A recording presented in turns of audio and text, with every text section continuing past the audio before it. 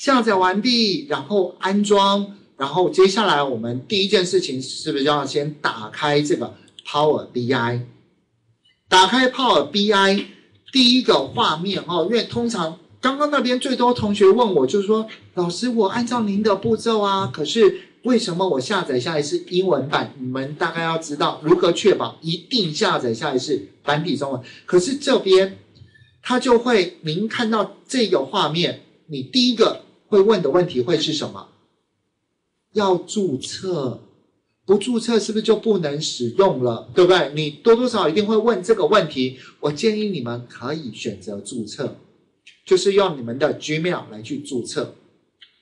在这个地方，它有一些教学，有兴趣可以回去看一下。这边有可用的更新，可用的更新，像这边已有更新，可供使用。这边他都告诉我，我现在所使用的版本是旧的版本，我可以进行更新，就点它就可以进行更新了。好，不过我现在既不做登录，也不去看一些其他那个教学资料，或者是我也不做更新，我就直接把这一个起始画面关掉，未来每一次都会看到这个画面。记得就是把它关掉就好了。好，不过我想有一个很重要的资讯：当我们在做这套软体，第一件事情一定是取得资料嘛，对不对？我我只是提醒你这件事，你的取得资料可以来自于网络，可以来自于脸书、GA 或者是 Excel 的档案。好，第一件事是取得资料。好，所以我这边我就先点这个叉叉。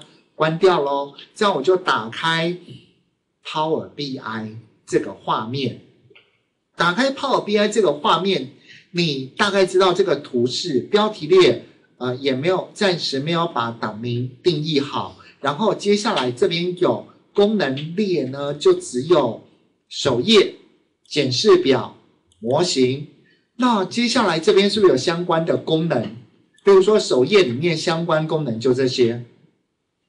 检视表里面相关功能只有这些，好，模型这里面功能也就只有这些，那感觉好像功能并不是很多，对不对？然后再来就是这里面有三种不一样的模式，第一个是画图模式，就是最后呈现那个报告的一个模式，这个是看资料表的模式，这个是建立关联性的模式，就只有这三种。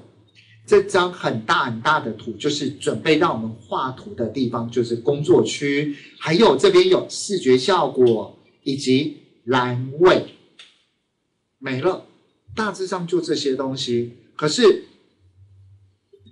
诚如刚刚我所讲，那个画面里面最重要一件事，告诉我们第一件事就要就是要取得档案。所以呢，我们第一件事就先把我们的档案叫进来。所以点选取得资料，取得资料这边可以取得很多种形式的资料，包含网址。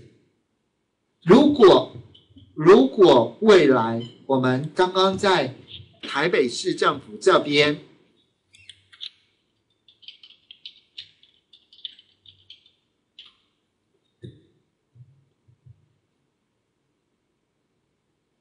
我们是用网址的方式，照样可以直接连进来。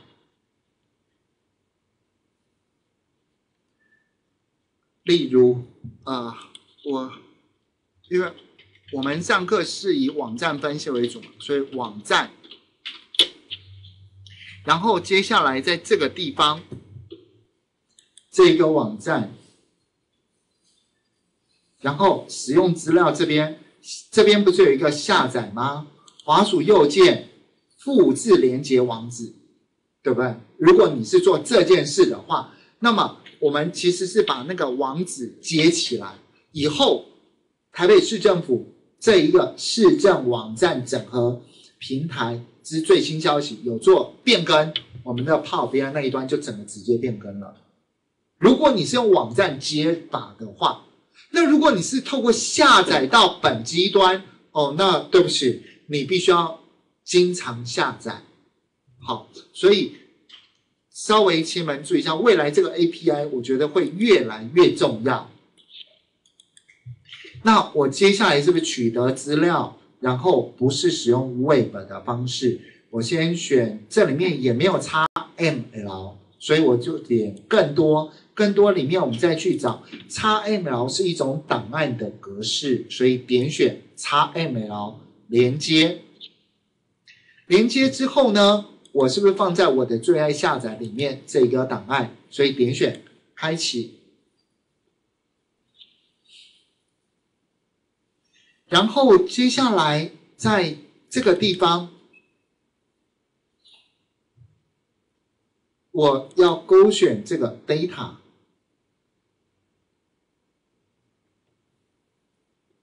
选到最下层这个地方，然后点选再录。